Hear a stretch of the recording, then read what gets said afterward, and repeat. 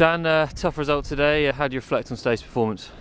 Um, yeah, we knew it was going to be a very tough game against uh, probably the best team in the world. You know, they they're a very good team. You know, what else can you say when you play against Man City? And I think we kept the score respectable. And um, you know, you feel the worst when you concede after four or five minutes. You know, you kind of you worry a little bit because you know what Man City can do to you. We've seen it, you know, plenty of times against ourselves and against lots of other teams in, in football. So, um, yeah, we hung in there, and um, you know, we got a goal ourselves. And when you score with 15 minutes to go, you, you know, you don't give up. You kind of feel a bit, you know, is there something we can get out of the game? You know, we probably didn't deserve it today. You know, the, the right team won today, and um, but yeah, you don't give up, and um, we tried till the end.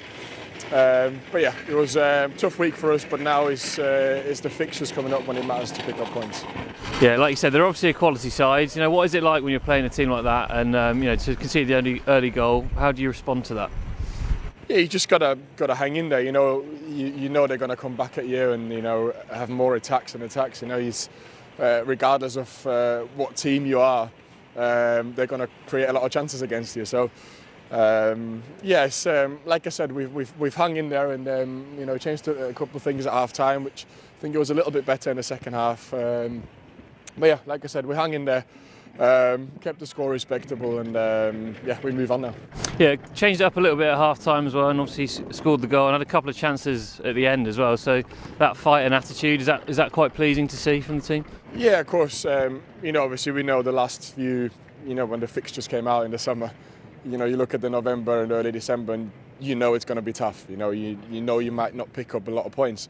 Um, and these are not the games that define our season. You know, when you play the, the top six of the Premier League within seven or eight games, you know it's going to be tough. So these are certainly not the games that define our season. And, um, you know, we've proven Um, we can compete with them. I think we shouldn't have lost the game against the European champions on Wednesday, and we gave them a very good game.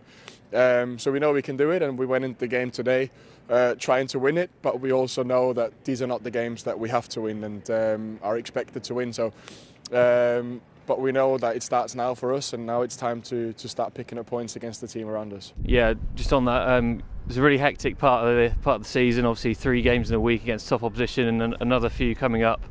Next one on Friday against Brentford. How important is that game now to start picking up some points? Yeah, like I said, you know we've had some good performances over the over the last uh, last couple of weeks against uh, some of the best teams in, in football and um, didn't get many points. So uh, now it's time to keep these performances up and uh, pick up points against the team, like I said, uh, teams around us, and that's what matters. And uh, I'm sure if we perform like we did the last you know, uh, most of the uh, the Chelsea game and uh, also the Leicester game and obviously the Man United game, um, we'll um, we'll have a good season. And just on for you, Dan, um, how much are you enjoying being back out there? Obviously a busy one today.